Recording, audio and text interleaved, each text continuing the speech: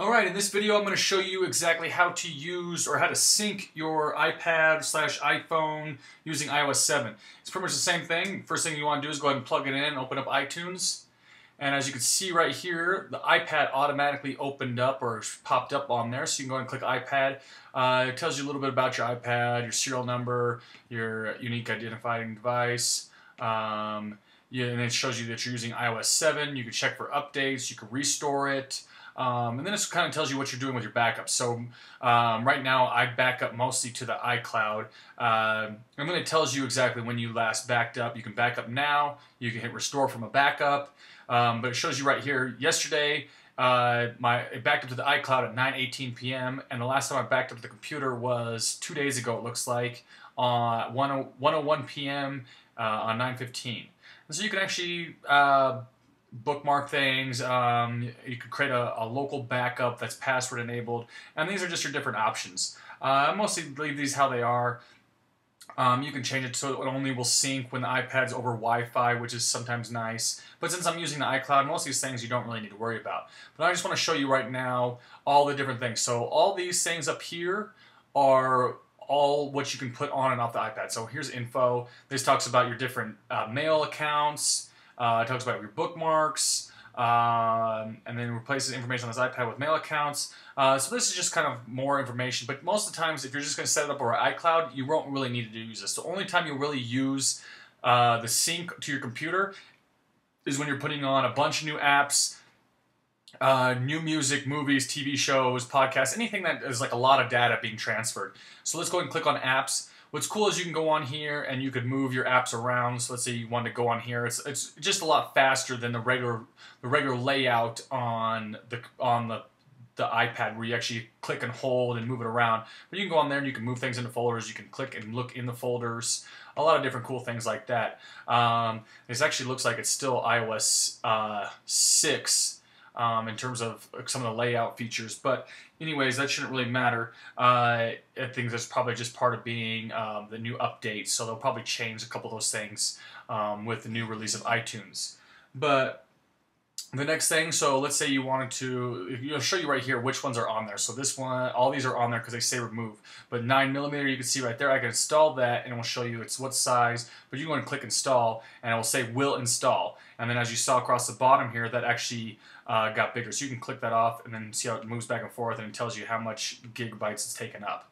So that's one of the things. Tones, um, this is going to be a new one it looks like. Uh, Oh, so these are just different, uh, these are for like uh, ringtones, uh, chimes, things like that. I'm to go and turn that off. Uh, I like all the tones that are already on there. Music, this is where you can go on here and sync new music. So let's say I wanted uh, the new uh, Big Boi album on there. That's um, actually not his newest one, but that one, we'll just go ahead and sync that on there just so I can show you guys. And then you can include music videos, voice memos, and you can go and set it up to automatically fill space with with songs. So it actually would put 13 gigs of music onto my iPad. But I turned that off because I like having the extra space on there just in case I ever need to do anything with it. And you can go into movies. Uh, let's say I wanted to put on um, a movie of mine. Let's just say I wanted to put on Captain America, the First Avenger. Click it. Very straightforward. I mean, this is all stuff you've probably used if you've had an iPad or an iPhone for a while. You'll know how to use these things. Go and click TV shows let's say I want to put on the new episode of Dexter, you can click here and it will select all episodes on there, or you can just pick a specific episode. So let's just say we want just that episode. You go into podcasts, you can sync podcasts by clicking that, and then you can pick which podcast you want. I don't really want to put any podcasts on, but I mean, I'll just show you how to do it. So you can click here, download that one. Uh, then let's go over to books so right now I've got I've got a ton of books, so books and PDFs. You can kind of sort it by that, only books, only PDFs. So let's say only books.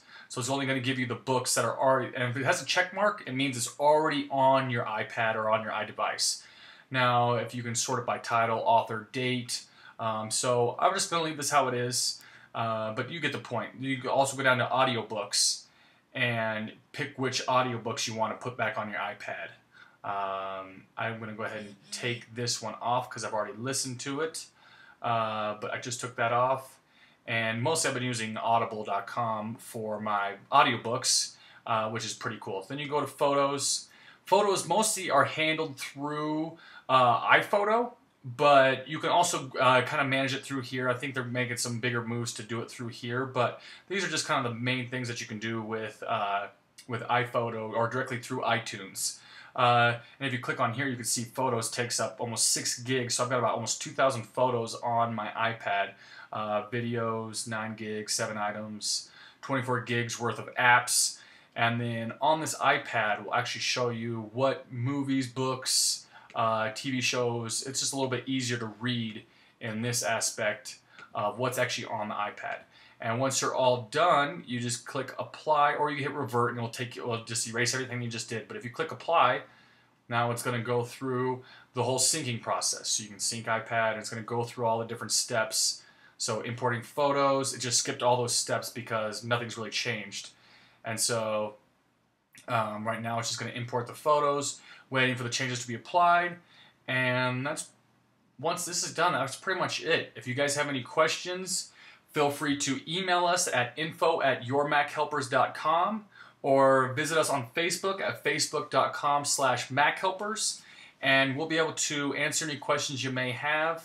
Uh, and as we can sit here and go through this, I might turn the video off uh, now, but let's just see. Let's wait a couple more seconds just so you guys got a, a, feel for what's going on.